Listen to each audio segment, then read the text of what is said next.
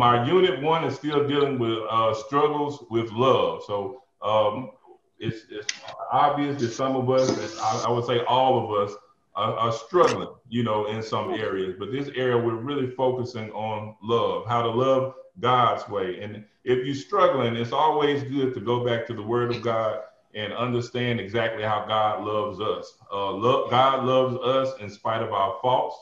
God loves us in, sp- in spite of uh, in spite of our failures. God loves us uh, even when we get on our knees and pray those prayers that sound so well, and only He and we know that we are not telling the truth. God still loves us. We serve a God that is a God of another chance and another chance and another chance, and uh, we have to love the same way. So we're going to learn some things as far as, and we're going to, what the Bible does is gives us a mirror to actually reflect on those areas that we need to improve in and move forward in, of course, with uh, the Holy Spirit's help. All right. So we cannot love the way that God loves, um, or this how this love is defined without the Holy Spirit's involvement. Um, I know that many of us have tried loving on our own, but it does not work. I don't care how hard you try, we need the Lord's help. Amen. Amen. So, feast of famine. All right, feast of famine. Now, this is a phrase that you will hear, you know, um, and that, that you've heard before. So, um, we've all physically, if we think about this feast or famine, we've all actually been on both sides. I'm sure that we've all uh, had periods in our lives where our bellies were full and where everything was going well and the bills were paid and the money is coming good. And then all of a sudden, things start shaking it up and then we can hit that famine to where uh, the bills may be late, to where the job may be lost, to where you uh, stomach get the growling. Um, uh, uh, those friends that you had before are not your friends anymore. So both of us have lived physically, I believe, on both sides before. But I got to thinking about spiritually. Where are we spiritually with this? So which side are you on? I have a question here. And it says, how does the Christian move from spiritual famine to spiritual feast? All right. How does the Christian move from spiritual famine to spiritual feast? The way that we mm-hmm. uh, move from uh, spiritual famine, okay, to spiritual feast is number one by Psalms 119 thou, and 11. Thy word have I hid in my heart that I may not sin against thee. So we have to understand that we have to read God's word, meditate on God's word, accept God's word for what it is, uh, understand that God's word is not a buffet to where we can actually pick out and choose and select those things that we want to be obedient to or want to follow. We have to look at the whole book, the whole living word of God. And then two, in Second Timothy 2.15, it tells us to study to show ourselves approved. Okay, unto who? Only God, who is the author of this book, who is the author of the living word. And it says, a workman that needeth not be ashamed, rightly dividing the word of truth. So uh, studying God's word takes some work.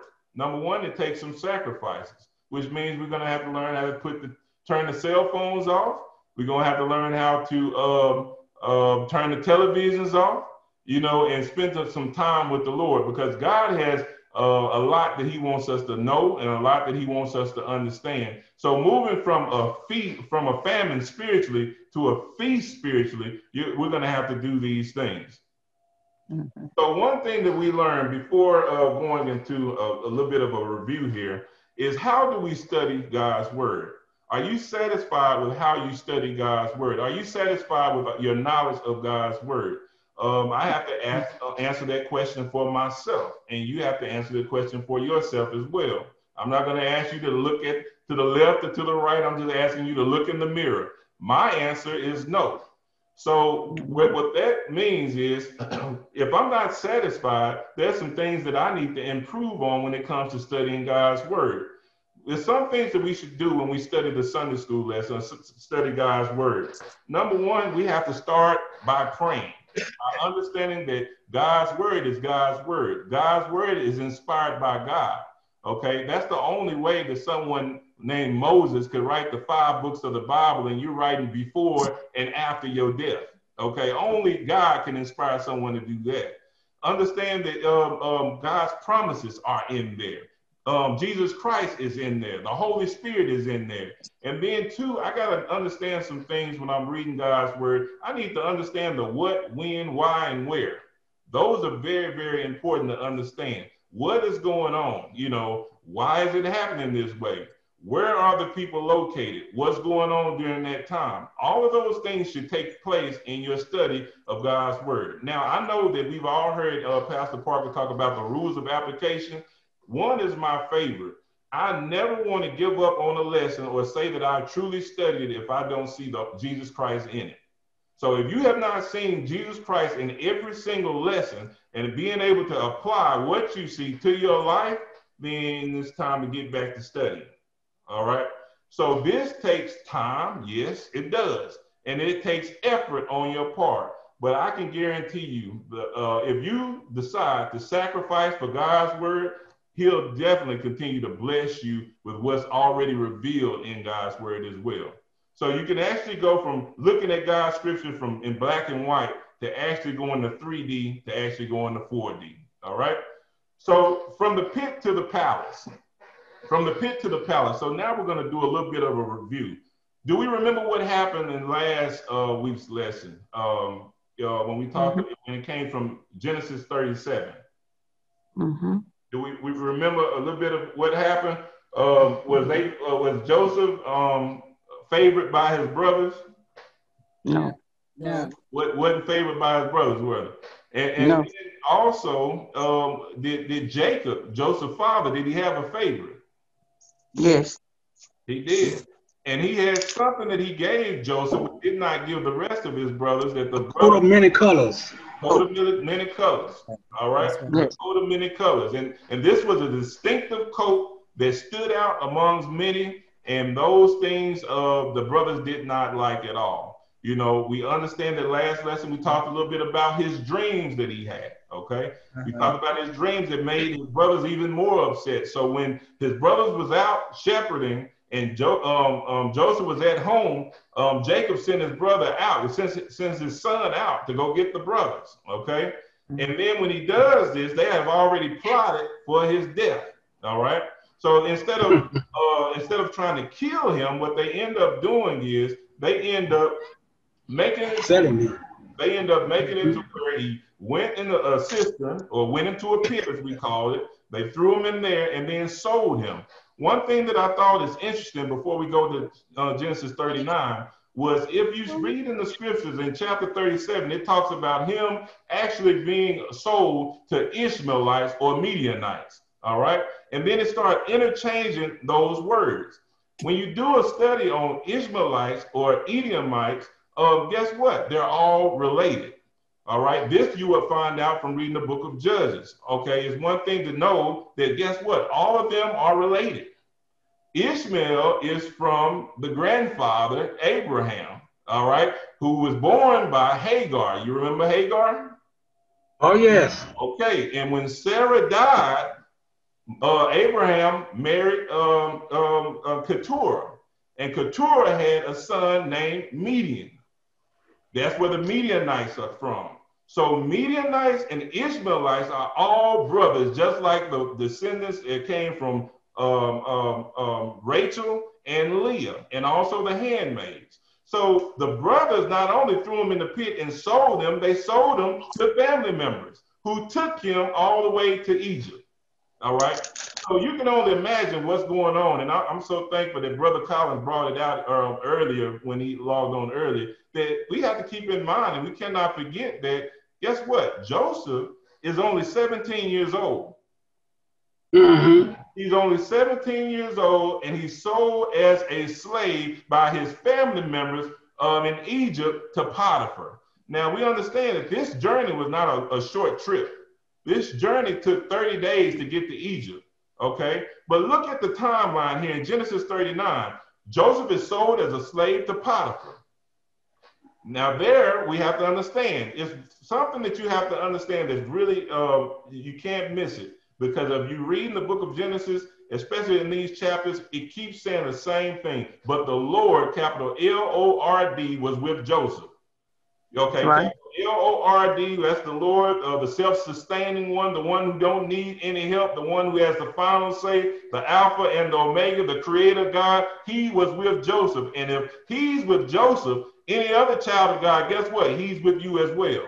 Now look, he went from the pit, and also he was promoted as overseer in Potiphar's house.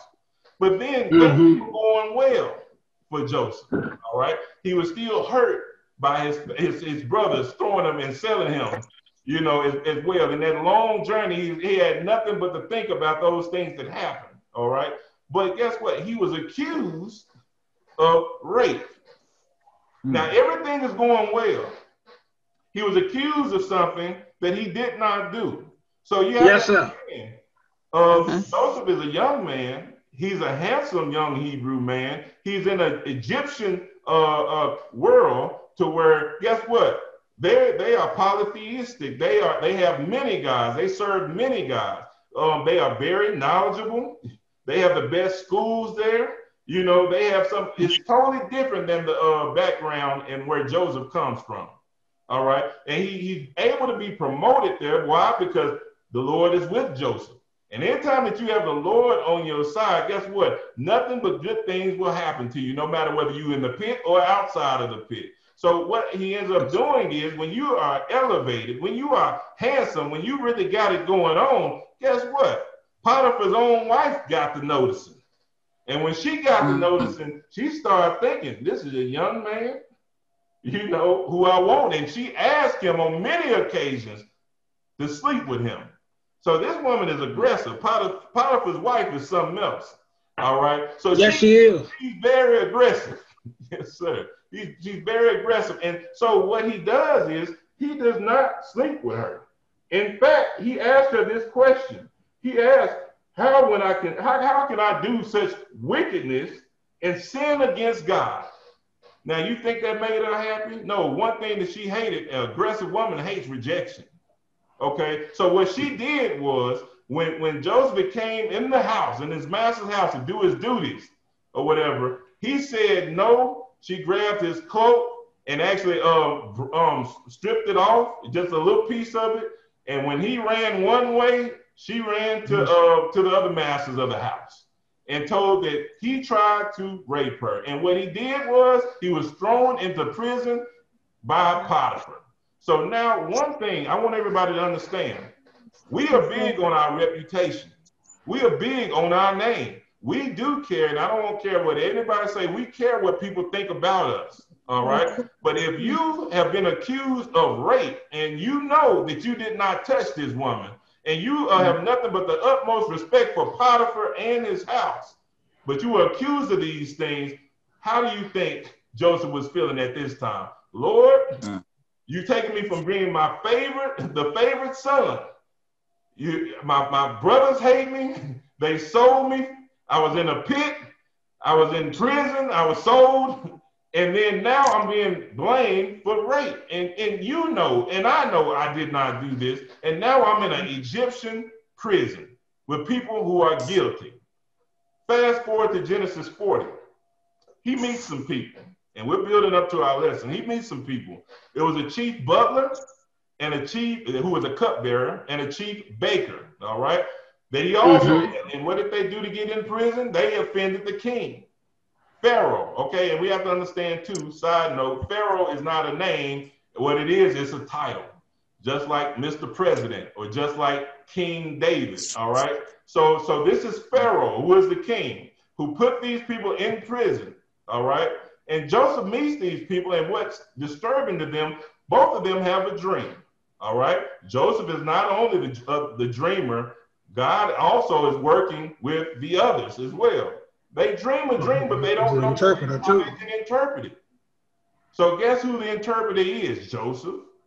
So even though Joseph is in prison, he's in the right place at the right time to so God can accomplish his divine plan. All right? mm-hmm. So how do we apply that to us today? We are in the right place at the right time so God can uh, um, accomplish his divine plan. Yes, you may not have the job you want, but you're in the right place at the right time so God can accomplish his uh, divine plan. Same thing with where you are in life. You know, you at the right place. It may not feel right, but if you're a child of God, we know that all things working together for the good of them and the called, who are called according to his purpose. You know, so those who love the Lord, we know they're working together, everything working together for the good. Joseph knows this, I believe, and you can understand this and how he he uh, responds to them. He tells them that God is the interpreter of the dreams. One of them had a dream. He told him his dream, his his uh, uh, task and his responsibility as cupbearer, as the butler, will be restored. So mm-hmm. that dream that you had with the vine that that's uh, that um, uh, connected the, the, to the branch, and and you had the number three in there, the three branches. You know what that means? That three uh, was three days that he was going to wait, and guess what? He would um, his duties and uh, his job would be restored into him. You look at mm-hmm. what happened to the other ones who had a, another dream. He wanted him Joseph to interpret his dream as well. He dreamed of three baskets on his hands with all on his head, which also represented three days. Okay, but one of these baskets that was going to Pharaoh, the bear, the birds ate it away. And so this one would not live. So, so the chief baker did not have a good ending to his dream. That was some sad, that was some terrible news. But one thing that I like about Joseph, because we're able to see ourselves in there, one thing we love is we love to network. One thing that we love, we love a hookup. So what Joseph does is he tells the one that he knows is going to live, don't forget me. Remember me. I'm yes, not sir. supposed to be down here, but I need you to remember me when you go and you take on your old job duties back. When you go and you're reelected to your position, I need you to remember me. Well, what happened? He forgot him. Forgot it. After three, after three days, yeah, they did go, and, and one did die, and the other one was restored. But he forgot him because how are we when we when everything's going good, we forget mm-hmm. about others. So I hope you can see yourself in this situation as well. We move on to Genesis 41, where we are today, where Pharaoh now is dreaming. Okay. Mm-hmm. And, and he ha- he's having a dream, and we're going to talk a little bit about his dream to where uh, where we'll better understand of what's going on. But then after two years, the butler is going to remember Joseph when in God's perfect timing. All right, when mm-hmm. God in God's perfect timing. I know Joseph is thinking about how he got in this position in prison. I know he's thinking about this woman who lied on him. I know he's thinking about this, this, uh, these two men that he interpreted their dreams. And the one only request that he made for the one who would live, for you to just remember me. I just want to be free. You know, I don't deserve to be here. You know, but you know, all those things are probably going through his head, but he did not ask the question why at all. So he finally, the cupbearer remembers Joseph, and then Joseph is placed in charge of Egypt as what? Ruler. You have to understand that all Joseph wanted to be was free. So, how should our prayers really go?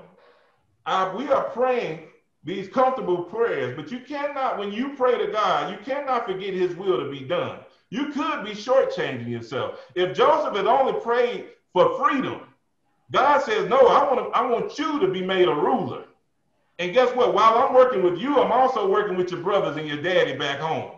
Because guess what? All things are working together, not only for you, but those who also threw you in the pit. I'm working on behalf of them too. Through you mm-hmm. will be saved simply because I've not forgotten my own. And what I want everybody to understand when we tackle this lesson, God has not forgotten you. Yes, you may be discouraged. Yes, you may you may feel down and out and depressed and, and confined within these four walls because of this pandemic. Yeah, you may not be able to breathe because of the mask you told to wear. Yeah, you understand that you may be laid off from your job because of downsizing during this time. Yeah, you understand that this pandemic and this election is more so than you think that you can bear. But guess what? If you are a child of God, as long as God is your father, you don't have anything to worry about because everything is working together for the good. All things. And guess what? In that scripture in Romans 8 and 28, you are not going through all things. You just going through some things. But God says that all things are working. Yes, sir. for the good of them who love the Lord. So if you love the Lord and God is your father, then things are working together for your good. Amen. Amen. Now we that's the foundation. We're gonna look at the printed text in Genesis 41, 25 through 28. Will somebody uh, read those uh, few verses there? And Joseph said unto Pharaoh, can y'all hear me? Yes. And Joseph said unto Pharaoh, The dream that Pharaoh is one. God hath showed Pharaoh what he's about to do. The seven good kine are seven years, and the seven good ears are seven years. The dream is one. And the seven thin and ill favored kine that came up after them are seven years. And the seven empty ears, blasted with the east wind, shall be seven years of famine. This is the thing which I have spoken to Pharaoh. What God is about to do, he showeth unto Pharaoh. Heard you say it, it's the 28? Yes, 28. Thank you, Sister Mays. I appreciate that. One thing that I love about Joseph, even though just being human, he was frustrated. But even, I don't see why. I don't see frustration in the scriptures at all. I even saw that with uh, Jesus' cousin, John the Baptist. Because when he was thrown in prison, he got so discouraged that he didn't ask the question, uh, uh, should we look for another? Is it somebody else? Because I don't think this is the way it's supposed to turn out. So, so this is, even though he's young, even though it's after 13 years of probably being in prison or whatever, even though he had all those times to just be bitter if he wanted to, he still mm-hmm. acknowledged God. How do we know he acknowledged God? Because he understood that everything is, is working uh, according to God's plan. He uh, told, um, he, he responded to Pharaoh because Pharaoh did have this dream. He had a dream of seven calves, okay? And, and, and depending on what version you read, it may be uh, known as kines. Uh, that, that's cows, okay? And they were mm-hmm. all right? And then when you look at that, that uh, calves um, and, and, cows are known to be, uh, especially back in those days, if you had a lot of cattle, that was wealth. You was prosperous. All right. If you look at uh, the story of Job, he had a lot of uh, cattle. You know, that was prosperous. If, if you look at Abraham, he had a lot of cattle. That was prosperous. If you looked at Laban, he had a lot of cattle. That was prosperous. You know, and and, and then our Lord and Savior, our God, uh, he owns the cattle on a thousand. He, that's that's prosperous. He owns everything. So you look at these fat cows, okay, uh, uh, that, that, that the Pharaoh is dreaming about. But then he has seven that comes after the seven that eats. And these, these things are uh, ugly, okay? They're, they're malnutrition, they're, they're skinny. So what they do is those seven cows eat the, the fat cows.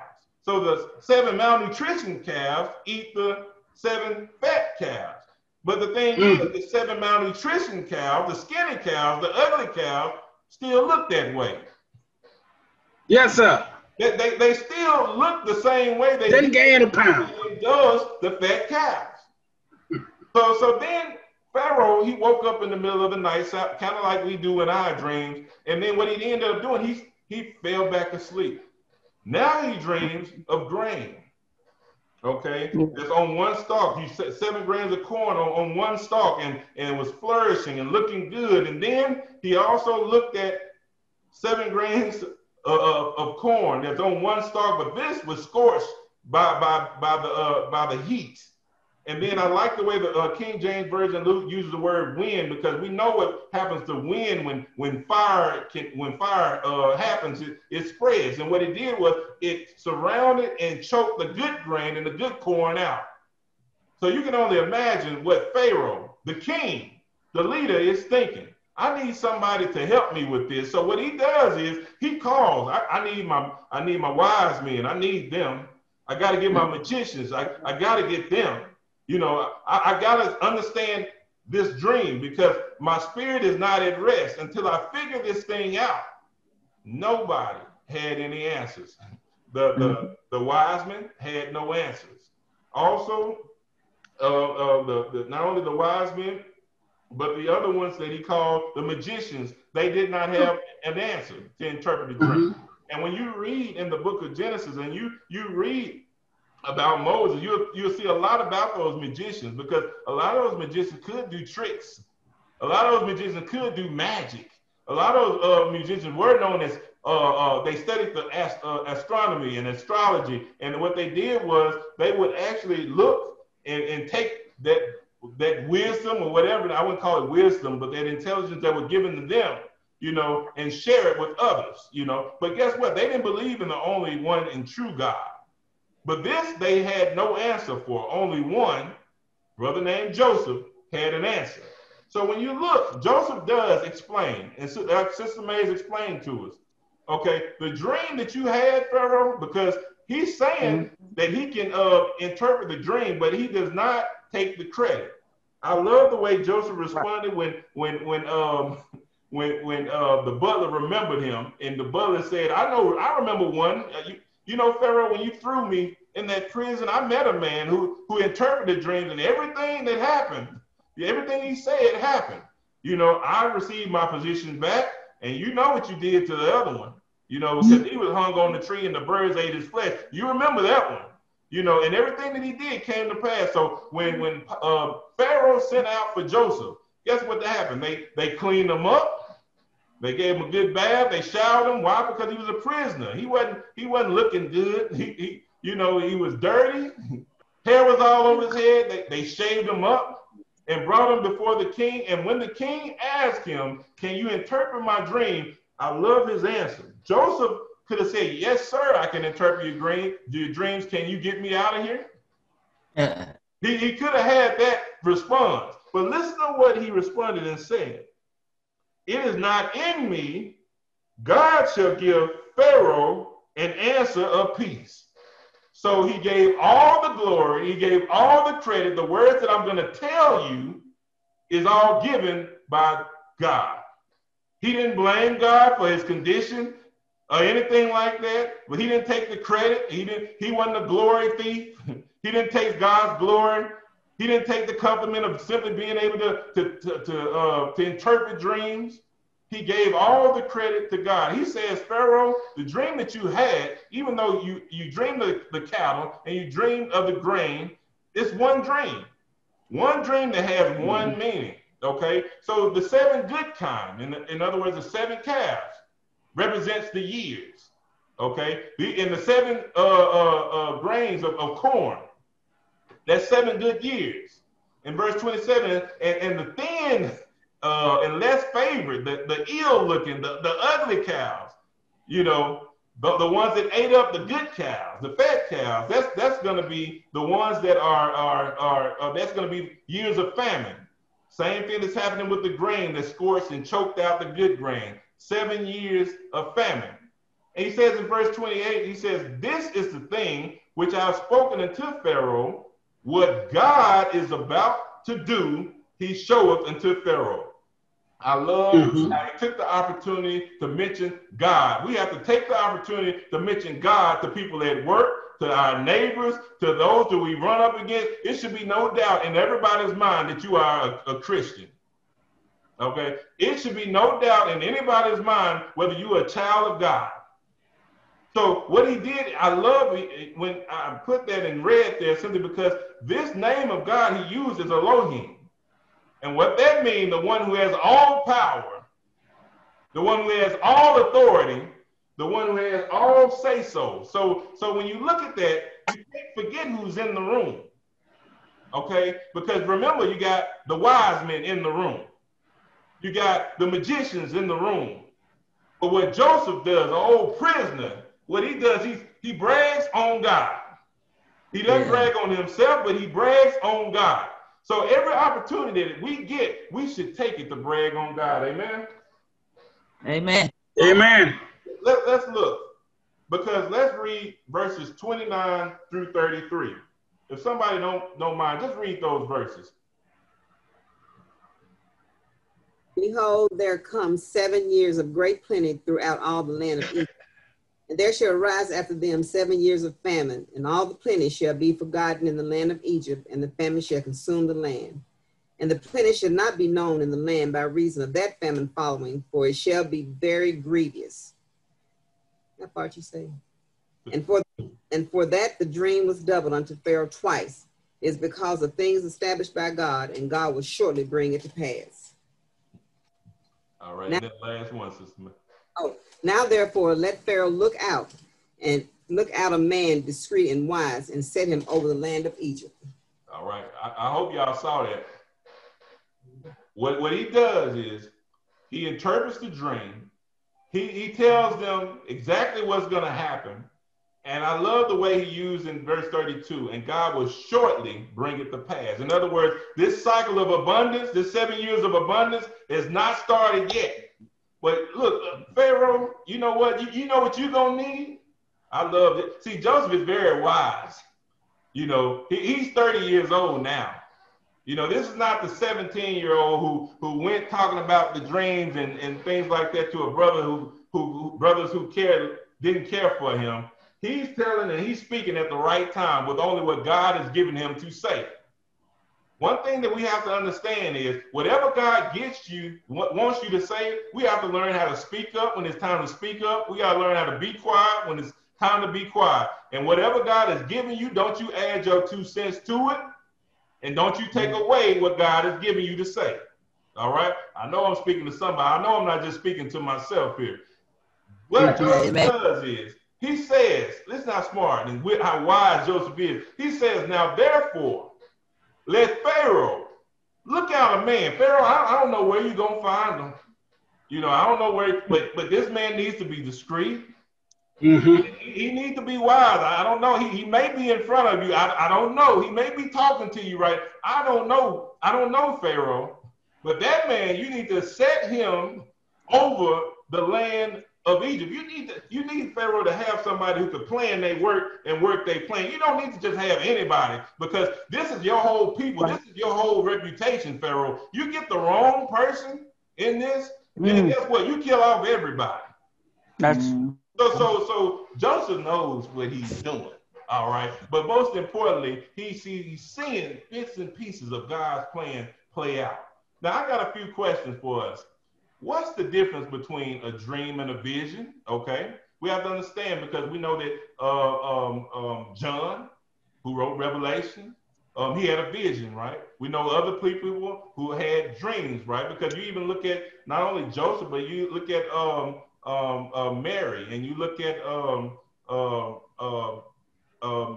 Joseph, the the who Mary was married to, the earthly father of Jesus Christ, who who had a, a, a dream. You you know you look at Peter, you look at Ezekiel, you look at Isaiah, you look at all these people who had dreams and, and visions. So what's the difference? So a vision is when you are given a vision by God, okay, but you are wide awake. All right. You understand what's going on. Your eyes are open, but God gives you a vision of his plan.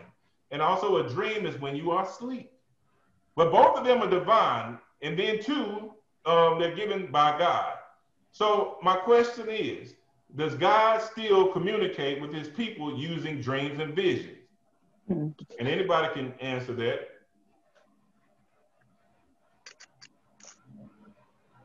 I Yes. believe he does. yes. Man. Yes, Yes, ma'am. he does. Everybody agree? I, I, I know he does. I, I, who Then he said give that? all of us a dream and Okay, vision. some, but somebody said, I know he does. Sister Phyllis Williams. Sister Williams said, I know he does, you know, because look at, um, and I love just using scripture to, to answer questions, okay? Because this is a good question. Some people believe that, oh, God don't work that way anymore. You know, that, that's, that's Old Testament, you know, that, that he doesn't work that way anymore. But our Bible tells us, our living word tells us in Malachi 3 and 6, for I am the Lord, capital L O R D, all right? I change not. Yes, sir. So however I worked back then, I can still work today doing the same thing. So I hear you, don't Doc. limit my don't He limit, limit my power. This God you don't put in a box. I'm the only one. You can't He is, he is still working that way now. That's what this COVID is. It's Well, bringing us back to him. That's a vision. So when you look at this, in Ecclesiastes 5 and 5 and 3, it says, For a dream cometh through a multitude of business, and a fool's voice is known by the multitude of words. In other words, our minds are distracted because all of us dream, whether we remember it or not, every single day. That's a Mhm. scientific fact. All right. The only way that I, I remember my dreams is if I had some hydrocodone uh, the day before for pain, or uh, or I have some good dreams then, or, or yeah, that's stuff, that's some strong stuff. And, and then- or if I was eating sweets before I before I go to bed, you know. All right. But but what what what this verse is saying in Ecclesiastes 5 and 3, I love the way how he puts it, simply because what you are around, the people that you are around, what you put in your ears and in your minds, guess what? Therefore you dream about. You put mess in your mind. That's what you dream about. And you wonder why it takes a, a pill for you to go to sleep, and you wonder why it takes a pill for you to wake up. You know, in order to get that good sleep, that good REM sleep, or whatever, you got to actually watch what you put in your mind because that those things are what you may go to bed thinking about. In Philippians 4 and 8, it tells us what we should think about. It says, finally, brethren, whatsoever things are true, whatsoever things are honest, whatsoever things are just, whatsoever things are pure, whatsoever things are lovely, whatsoever things are of good report, if there be any virtue, and if there be any praise, think on those things. All right?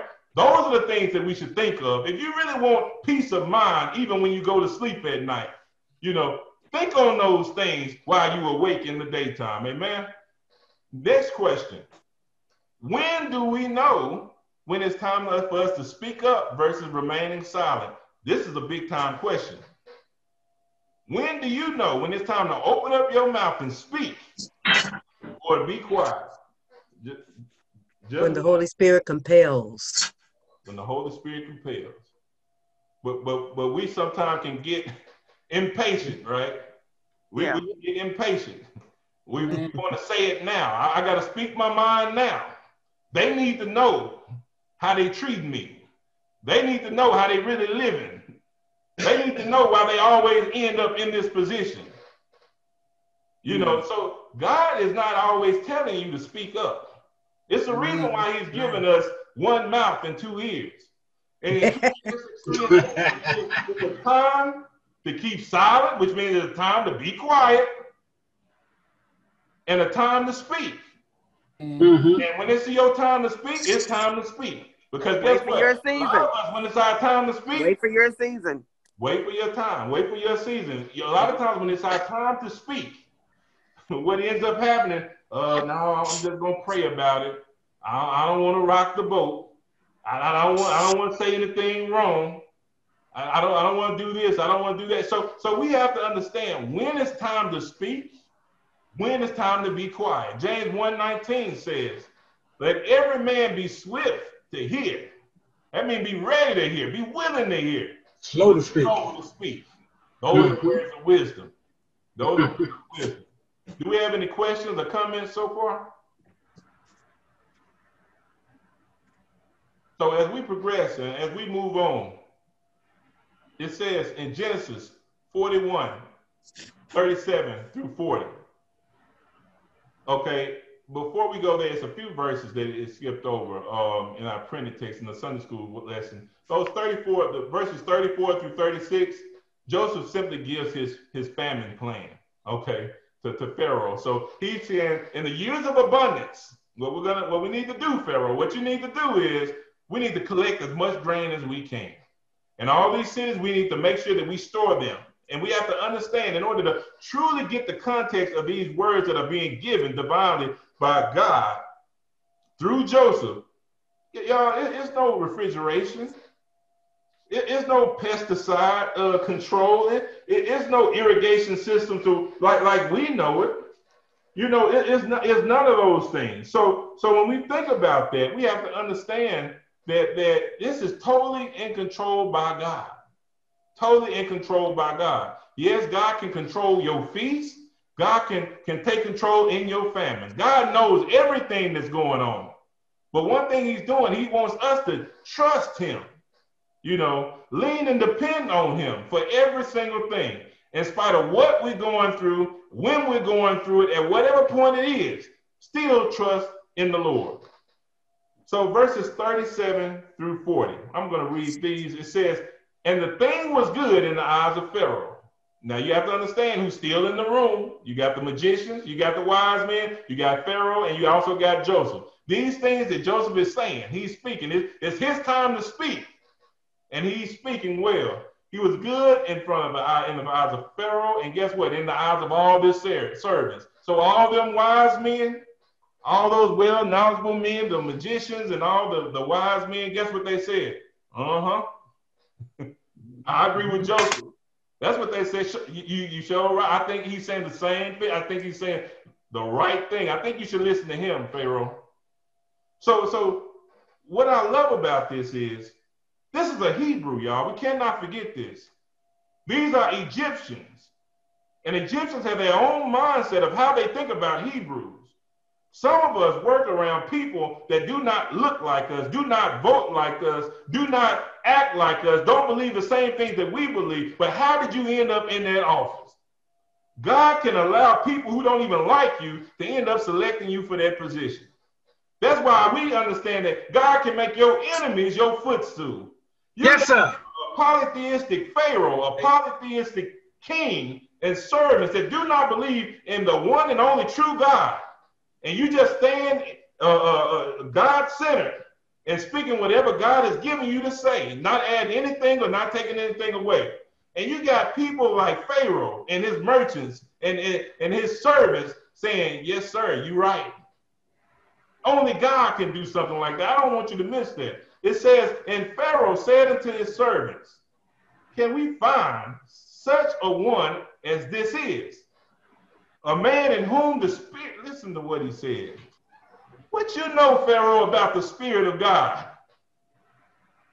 See, God is so obvious. God is so evident when you're just following his lead. When you're following the good shepherd, he won't lead you. Yes, sir. He'll show you some things and even show the enemy some things that, that that's, that's surprising even to him.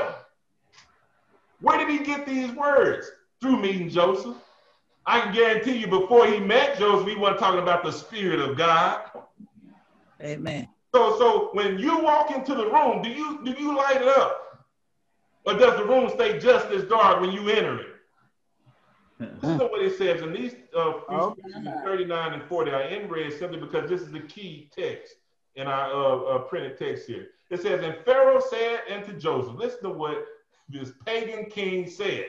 He says, For as much as God has showed thee all this, there is none. All right, this means none. None means none. All right, not, not even me, Pharaoh is saying, that is so discreet and wise as thou you thou art. In other words, we got you right one. In other words, promoted. In other words, you got the job. In other words, whatever God you serving, I'm going to let y'all do the lead. Now, I'm still Pharaoh, but uh, we're going to follow your lead. So we're going, we're going to give you a position. We're going to give you a place, Joseph. So you take, you see how he's taking them from the prison, clean them up, and all this happened.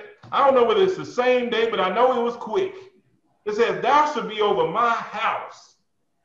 That's placement. And according to thy word, shall my people, all my people, be ruled. That's privilege. Only mm-hmm. in thy throne will I be greater than you. He was appointed. Now, Pharaoh, in his mind, he think that he's really doing this, like he has some power. Just like the supervisor on your job think that they got some power to, to, to do what they want to do to you. You know, and see, we have to understand that we, we only have one boss. All right. Yo, yo, you I understand the chain of command, but but you only have one boss, and that boss is God. Yes. Yes, sir. As you do things that's pleasing to Him and in favor of Him, then you cannot go wrong.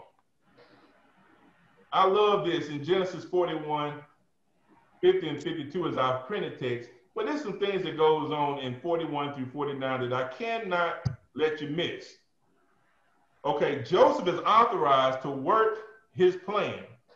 Joseph is that cloak is taken, you know, from him, and, and, and he's put in a position. How do I know he's put in a position? Because the king, Pharaoh, gave him a ring. I don't know whether you remember uh, the prodigal son, but when the prodigal son came back, he put a ring on his finger.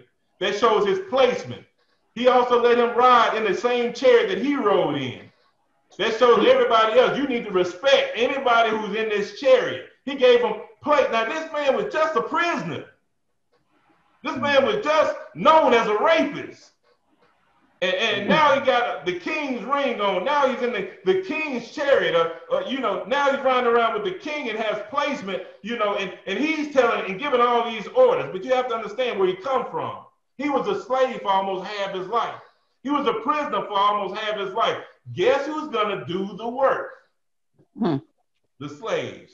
Who know how to identify with the ones in the prison? Who was placed as, as over all the ones in the prison by the warden? Joseph was.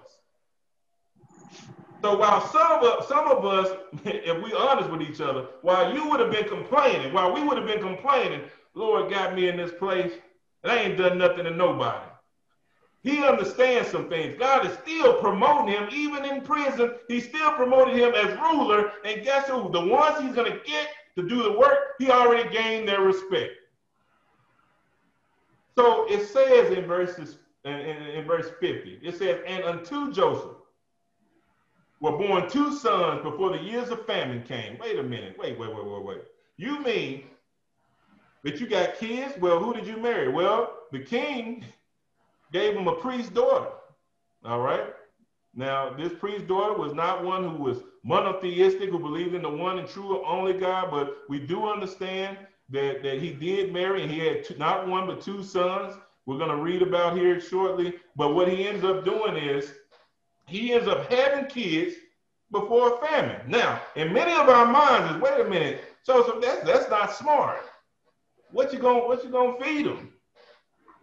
Where, where you gonna go when, when this famine hits? It, it, don't you want the best for your kids? You already got the wife, but don't you want the best? But when you know that you know that you know that, that our God who has the first say so is going to have the last say so. The one who gave you the dream, the one who took you from the pit to the prison, Yes, sir. Talk, man. to the palace as ruler, is the same one. You know what? You may as well go and have you some kids, Joseph.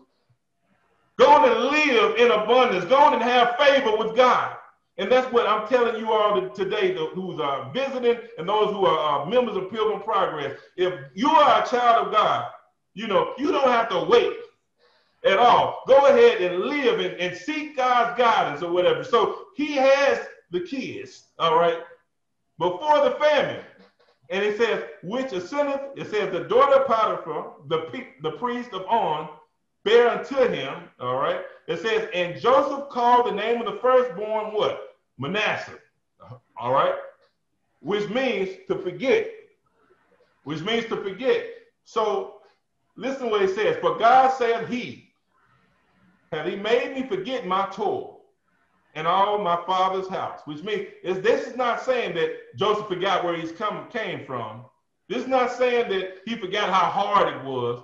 This means that Joseph's heart probably was hardened towards some of the things that was done towards him by his family members, by the, the Potiphar's wife, by the things that he people that wronged him, and he hadn't done anything to. So what he meant was, I let it go. My firstborn is named Manasseh forgive, forgiving. Or, or what I'm doing is it made me forget, which means I'm forgiving, I'm letting it go. And the name of the second called Ephraim. Guess what? That means twice fruitful or doubly fruitful. I don't know whether that went for the firstborn or the, uh, the secondborn, counting both of them together as a double, being fruitful and multiplying right before a famine. But it says, For God has caused me to be fruitful in the land of my affliction. Y'all don't see what I'm telling y'all. I was a prisoner here. I'm a Hebrew here. I'm giving Egyptians orders who look down on me. I'm Mhm. telling people who are more intelligent who, and who think and have all these letters behind their name what to do. Yeah, I know what God has done for me. Now, now, what God has done for you, that's your testimony. But what, what Joseph's saying is, I want you to understand through today's Sunday school lesson, if you understand what God has done for me, he will do it for you. All you have to do is continue to li- look at him, continue to look at him, continue to focus on him and who he is. So with those things, what can we take away from today's lesson that we come to a close? Number one, we probably won't get to interpret dreams like a king, but those who know you should be, uh, those who uh, those who know you should be able to see God in you through your kind words, merciful acts, and wise advice. Do your relatives, neighbors, and co-workers see you as a person in whom God, uh, whose spirit of God is in? That's a good question. Now, point number two, in each situation, Joseph learned the importance of serving God and others. Whatever your situation, no matter how undesirable, consider it part of your training program for serving God. Number three, instead of asking God why, just ask him what's next. In other words, since that didn't work for me, what do you have next for me, God? Since I thought that job was for me, I thought you were lining it all out, and, but I didn't get the job. So it must not be meant for me to have the job. So what's next for me? That marriage that I thought was right, that, that man or that woman I thought was right for me, it didn't work out. What, what, what do you have for me? What's next, God? Because I know one thing that won't change, and I'm your child. Because I know you're not an Indian giver. And once I'm in your hands, you won't let go of me. Even if I go astray, even if I don't do the right things like I always should, Lord, I understand that you are my father. So it's one thing that I want to end up uh, with number four. It says, plan your work and work God's plan. Now, I know some of you may mm-hmm. know this to be plan your work, work your plan. Guess what? If you plan your work, because God wants you to have a plan, that's why He gave you a mind. But He also wants you to understand that it's all about His divine plan. Yes. You know, so your plan don't work all the time. Your plan is not always best. I don't care how you put it together. And if it doesn't align with God's plan, you may as well ball it up and throw it away.